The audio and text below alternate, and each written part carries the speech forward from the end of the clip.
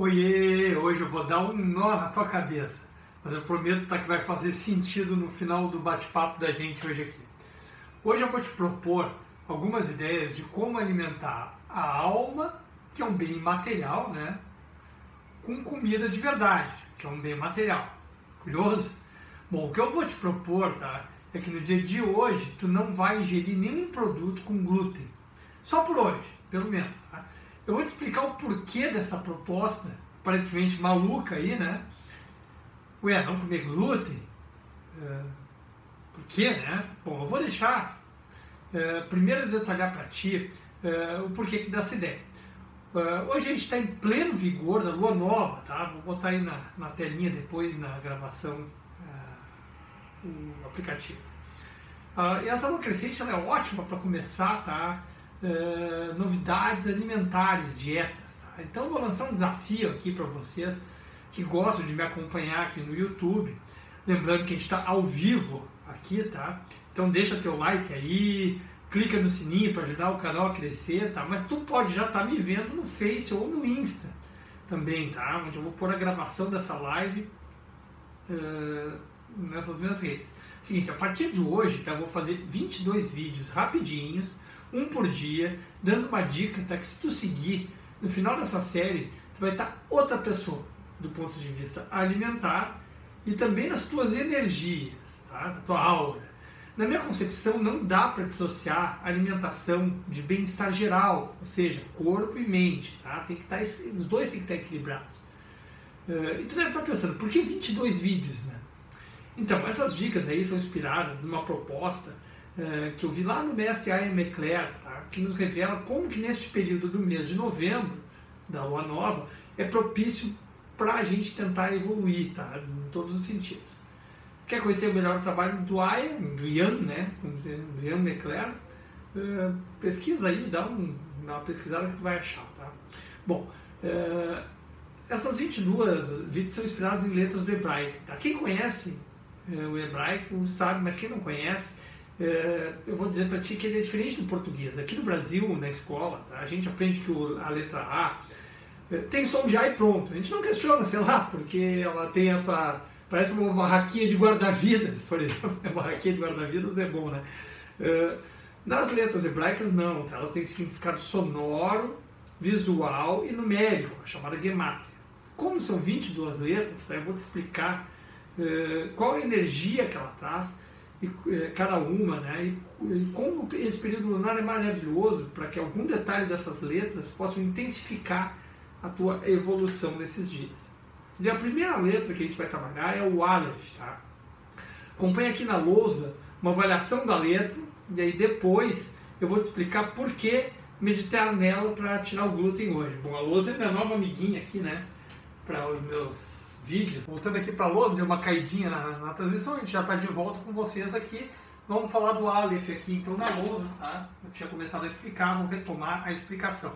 O Aleph, ele é uma letra que tem uma barrinha que perpassa ela e que tem uma perninha que vem aqui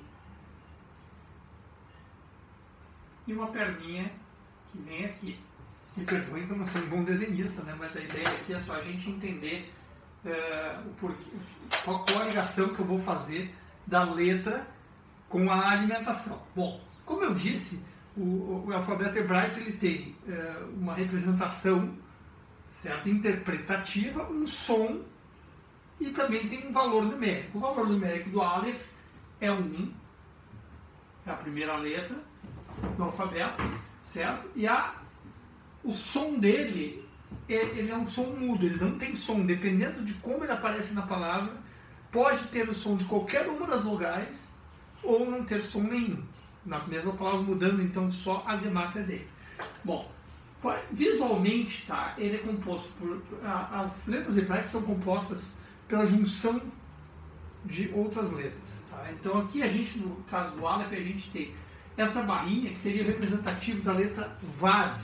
A letra Vav tem valor de 6 junto com dois iudes, certo? que é, é, a menor letrinha do, do, do que tem valor de 10 cada uma. Tá? Guardem esses numerozinhos aqui.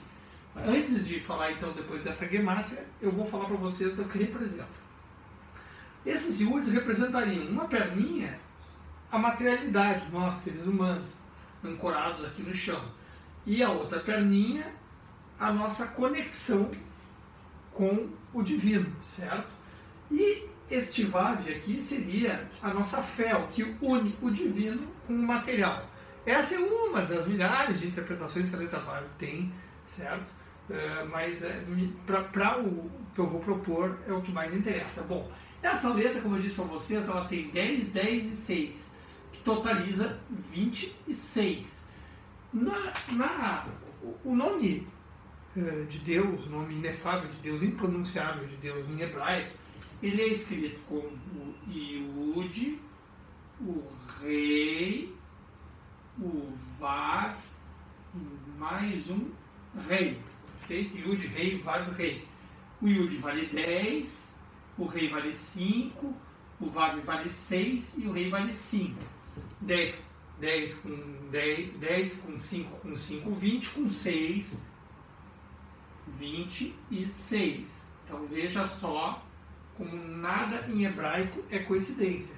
O nome é, de Deus aqui, o de rei, vav, rei, valendo 26, que é o valor total do vav, que é 6, com os dois iuds que formam a letra Aleph, perfeito? Bom, o que eu quero dizer com isso tudo aqui? Eu quero dizer que... Opa! Vai cair aqui a minha... Ao vivo, né? Quem sabe faz ao vivo. E a minha cachorrinha aqui, a Mel fugindo, vou ter que mostrar pra vocês. Se assustou. Ela, é, se ninguém me assistir, pelo menos a Mel me assiste, né? Ao vivo, certo? E ela se assustou aqui com a, com a queda. Deixa eu devolver aqui. Bom, uh, então, uh, como essa letra aqui é uma letra que tem conexão com o divino, a gente está começando algo que a gente quer unir o, o, a nossa, a nossa uh, a nossa qualidade alimentar e aproveitar esse período lunar a proposta é tirar o glúten para quê? Para um esvaziamento, para desinflar, desinchar, desintoxicar. Essa é a ideia, então, de no primeiro dia, avaliando esta letra. Deixa eu só mostrar para vocês aqui. A Melzinha cansou da minha aulinha aqui, pedindo para sair. Vamos deixar a Melzinha sair? Pode sair, meu amor. Ó, vai lá. Lá vai ela. Querida. Não aguentou ficar aqui no ao vivo, se assustou com a queda ali, da, quem sabe, faz ao vivo, né? Você tá vendo gravado aqui no, no, no Instagram, eu não devo nem cortar muita coisa, mas enfim, essa, essa conexão com, com o divino exige com que a gente tenha um esvaziamento. Então, nesse primeiro dia, a proposta é retirar o glúten para teu corpo dar uma aliviada nesse consumo de pão, de massas, de coisas que tem. E é muito tranquilo, né? Tem, dá, dá para viver sem glúten um dia absolutamente tranquilo. Amanhã, o Aleph Beit, aliás, desculpe, o Beit, que é a sequência do Aleph, tá? vai ser a segunda letra, vai ter um segundo significado, a gente vai fazer uma segunda análise e propor uma segunda meta alimentar para essa letra. Espero que vocês estejam gostando dessa viagem aqui, um troço um pouco diferente, um pouco mais demoradinho o vídeo, mas acho que quem está no YouTube ao vivo gosta já das coisas mais demoradinhas, né? Quem está nas outras redes, se me acompanhou até aqui, um grande beijo. Não vamos fazer que nem a Mel, né? Que não quis me acompanhar até aqui. Tchau!